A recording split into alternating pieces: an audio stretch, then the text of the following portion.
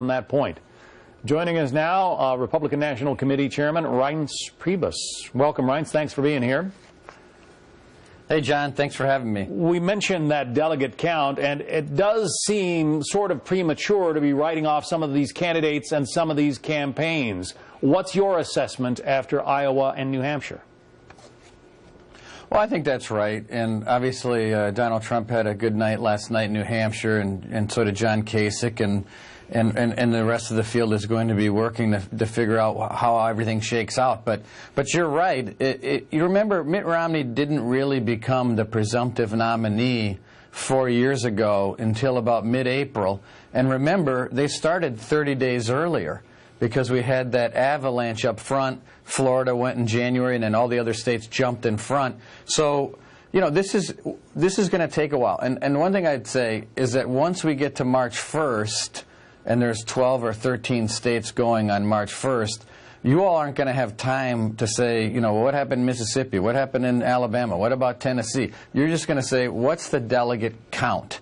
And so I think it's a good thing that people are looking at delegates because ultimately the delegates on the floor of the convention decide who the nominee of the Republican Party is. But my memory of 2012 is also that you were dismayed by the amount of sniping that Republican candidates did at one another, that they, in, in your view, sort of took each other down and damaged Mitt Romney, who became uh, the eventual nominee. Now you're in a situation after New Hampshire where you have at least three solid contenders, Rubio, Bush, and Kasich, who are all going to be pointing, you know, shooting one another to try to get into a, a, a higher spot uh, in the next, you know, go around. Yeah.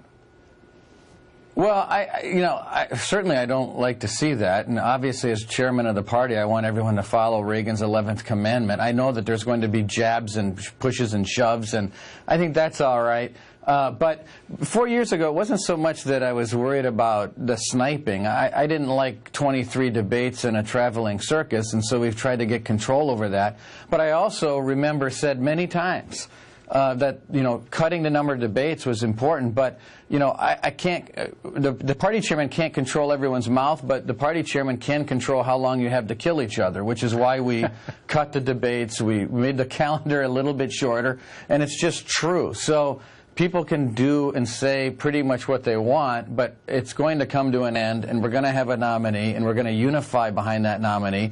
And look what Hillary Clinton is serving up. I mean, she's she's losing to women. Young people aren't supporting her. I mean, she, the FBI is all over her. So where we're at is in a pretty good place. We've got varsity candidates on the field, and one of them is going to be our nominee, and we're going to beat Hillary Clinton or you know, a socialist from Vermont. But either way, I like where we're at.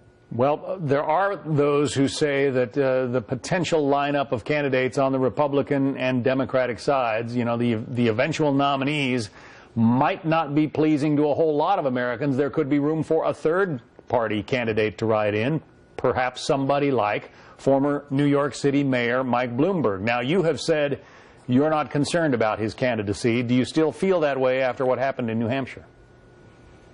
Yeah, no, I mean, I, I, I hope he, I mean, in many regard, it's almost a blessing to the party. I mean, here he's going to come in and put states that we used to do pretty well in, like uh, the Northeast. He, he puts New Hampshire in play. He puts Connecticut in play.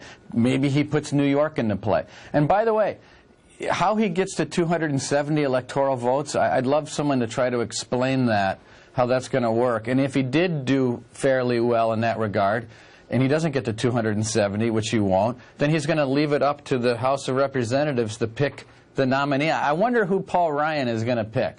You know, I have a feeling it's going to be a Republican. So, you know, I, I honestly I think people love seeing themselves in the paper and they can't stand not seeing themselves. So, you know, here we go with, with, with this conversation, which is fine it's helpful to us. You know, you know, happy for him to, to grab a ticket and get on board. I know that there have been questions about uh, Donald Trump's relationship with the Republican Party. You're the chairman of the party. I know you can't pick winners and losers, but if Donald hmm. Trump rides all the way to the uh, to the nomination, does he have the party's full support?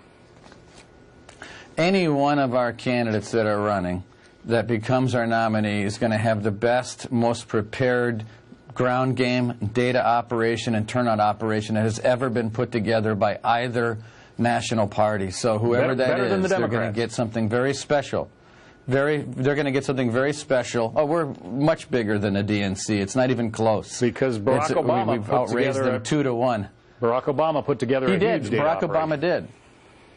He did. He did. And and now we've got something better, uh, especially if you when you compare us to the DNC, which um, isn't doing very well right now. And I, I think that's a pretty well known fact. And most journalists agree that the DNC is a, a bit of a, of a disaster at the moment. All right. We'll see what happens come November. Reince Priebus, the chairman of the Republican right. National Committee. Good to have you on.